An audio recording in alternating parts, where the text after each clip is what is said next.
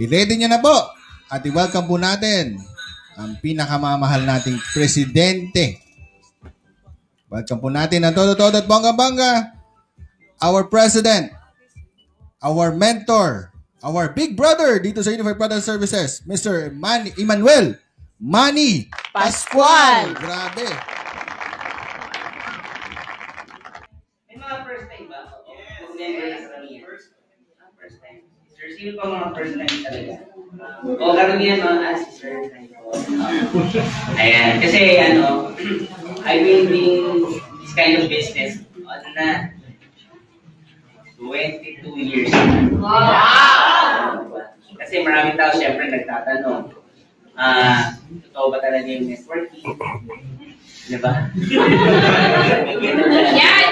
Oh, ang alam mo sa totoo lang, ang pinagkaiba lang naman natin sa solution nyo ngayon, tsaka kami. Nauna lang kami. Tama? Pero kung tatanungin nyo kung makakatindi kayo sa ah, solusyon namin, definitely po.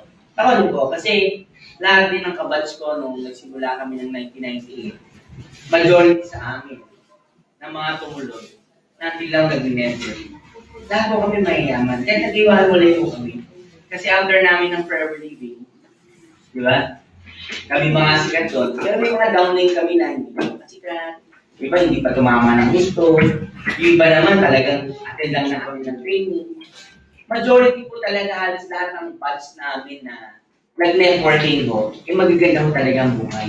And to tell you honestly, majority sa amin siguro, hindi naman 100%, pero nag-50% hindi na po talaga ng-work talaga.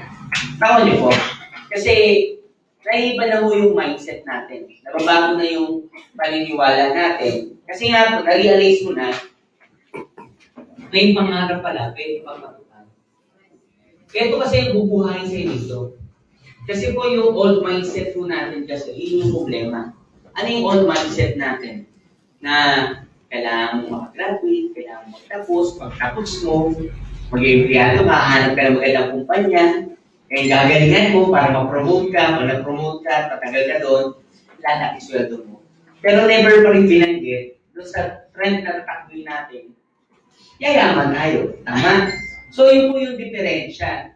Ngayon, yung networking po kasi, the reason why nag-stay ako dito for the longest time period, kasi nga po, ang laging dinidiscuss every time aatin ako ng training is all about dreams. Imagine mo shortcut na po to. Dreams na po agad yung topic. Eh, common sa labas po, pag work ka ng 5 to 10 years, never naman dreams magiging topic. Hindi so, ulitin ko hindi ako against employment, diba? Yung nakita mo kasi, kung bakit ako na-stay, and bakit ako tumuloy-tuloy. Kasi ito po yung nakita ko. Eh, naniniwala ko kung bago kayo nandito, pareho tayo na nakita. Tama? Kasi ang topic na to, pangarap. Kaya dapat ko natututuho kayong mag-compute. Di ba? Kotse, house and lot, travel, savings. Dapat natututuho kayong mag-compute. Kasi pag hindi nyo po kinocompute, yung value na gusto mong malaman, value na gusto mong mangyari sa'yo, doon ka pa nagkakaproblema. Ito din yung common problem. Ako niyo po, kotse magkano yan? Palagay natin mga, sige, ano na lang, kalahating milyon. Hindi ko plano yan. Di ba? Second hand. So, okay na din, realistic. Bahay, siguro mga isang milyon, may isang milyon eh, di ba? Camellia Home or yung Lumi na, Villa, tama? O, travel, kalagay natin mga isang milyon din. Yung savings mo, mga Sige, 2 million na lang. So, lagyan mo ng value. Bakit dapat mo lalagyan ng value? Kasi po, pag nilagyan mo ng value, malalaman mo ngayong buwan, next month, next year, kung magkano dapat yung kitain mo para makuha mo to. Eh, hindi mo siya nakuha ng sabay-sabay. Huwag mo kayo maglala. Wala ko ito nung sumali sa networking. Pag sali niya, sa pira niya, lahat nakuha na niya. Wala akong ganun. Galing nun. Tapos sa mga bago, sino yung mga one month pala ko rito sa business? One month. One month si sir. Ah, six months, six months. One year, one year. Yeah. Two years. Okay lang na kayo. Kalang takay lang kayo. So sa mga one year, two years pa lang rito, huwag ka gana mag-expect na malaki agad nakita mo. Tama. Kasi alam mo ba, nasa process ka pa na kung saan, ina-adjust pa yung mentality mo. Kasi we are trained to work, we are trained to earn, but we are not trained to lose. Yes. Tama, hindi ko tayo na-train na gano'n. Kasi ako sa work ko, ang training mo sa akin doon, maging magaling ako accountant. Lupitan ko mag-audit, hulihin ko yung mga kumukupit. Yun ang training sa akin eh. Tama. Na pag na-master ko po yun, mapopromote ako. Imagine mo, hindi pa rin nasabi na magkakabotch ko. Mapopromote po ako.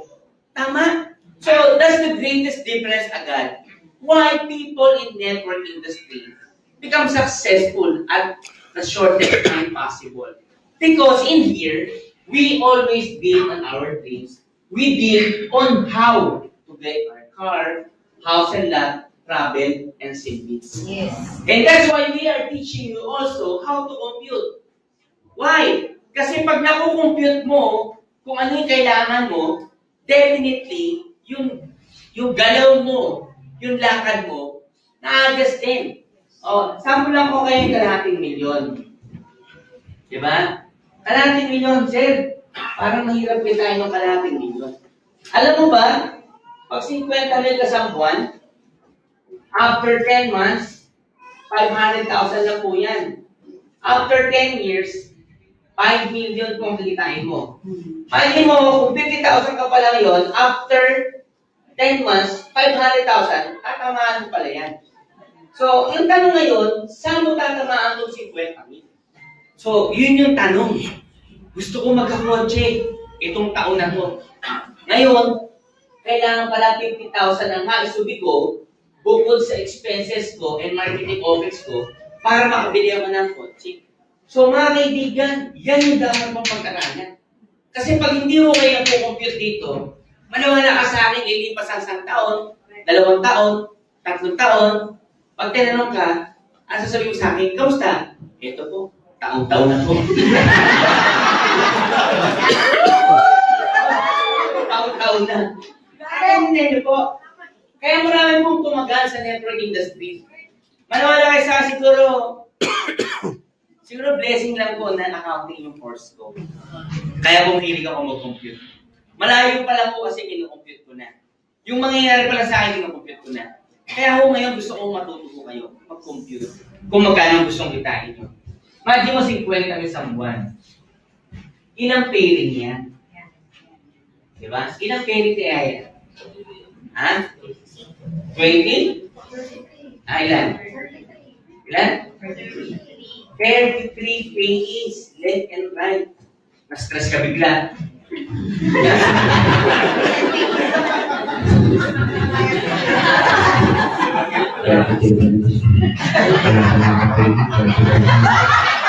Na-stress ka na bigla.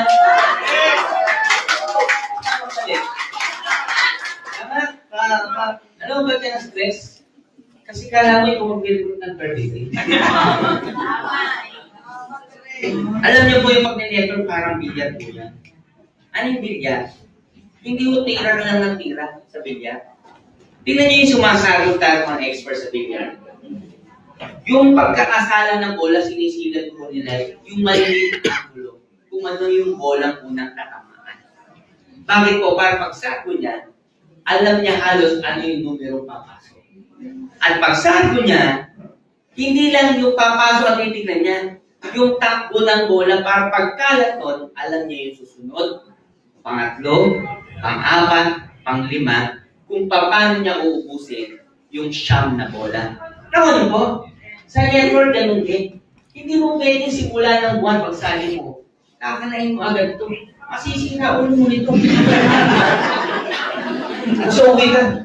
Sabi ka lang tayo nag-video every day na eh. Hindi siya wala ng tour.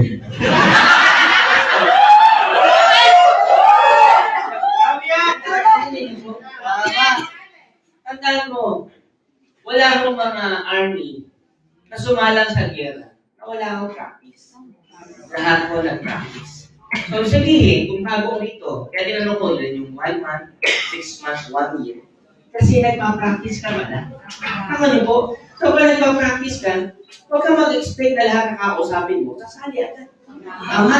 Kasi pag tinanong ko sa business, sabi mo lang. Ka. Paano yan? Tira lang. Ah, sabi, tira lang eh, di ba? Tama mali. Ah, kaibigan, lahat ng bago, ganun lang muna sasabihin. Kasi yun lang naman alam niya. Pag pina-explain mo nga yan, hindi niya ma-explain kahit nasa linggo na siya, dalawang linggo. Hindi niya ma-explain. Tama. Kasi bago ka pa. Kaya huwag ka mag-expect na first month mo, six months mo dito, kikita ka ng malaki. Naka niyo po, and ito good news. Pag ikaw bago lang, lahat ng inimbay mo, sumasali, ang presentation mo lang, sumasali, delikado yun. Kasi bakit marami kang makita rito, lumalabas yung lilit, sabi kasi, kung ulit na yung papel ka, hindi mo nagkikili. Pero samantala ikaw, makikingiti ka. Seven account ka. Delikado yun. Kasi alam mo bakit pag masyadong buenas ka na, sa lahat ng record mo nagjo-join, lahat ng invite mo sumasali, lahat binibigay na sa'yo. Delikado ka na yun. Kasi sabihin, uulit ka na nila.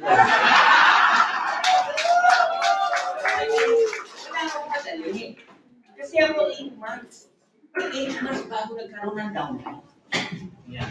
Totoo lang nga mo 8 months.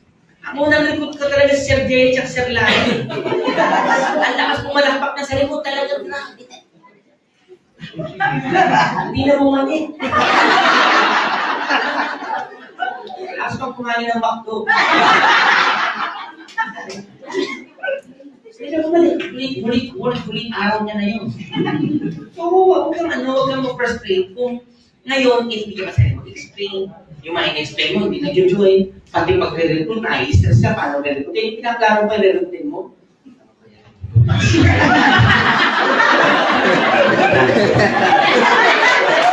Tapos nakakita, nakakita ka yan. Nakakita ka ngayon. Uy, mali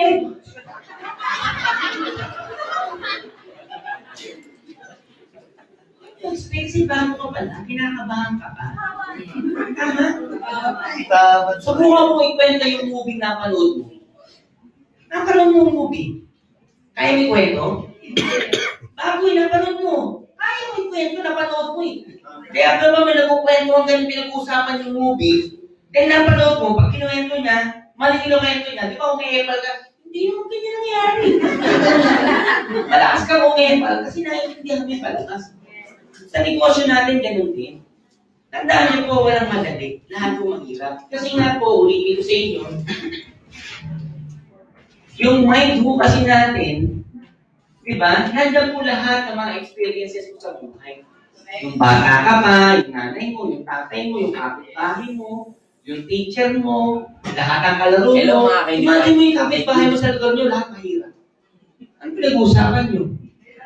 Kahirapan. Maganda ako yung pera. Kaya namin, ang kontra, nakabuti. Kung ano yung topic nyo. Tama? Doon po nakita gaano kahalaga yung mindset. Kaibigan, ito yung babaguhin mo ngayon sa'yo, yung mindset. Kasi mga kaibigan, sa world politiko, hindi diniscuss to. Ang dinidiscuss doon, mapopromote ka. May diniscuss ba? Yayaman pag na-promote. Wala.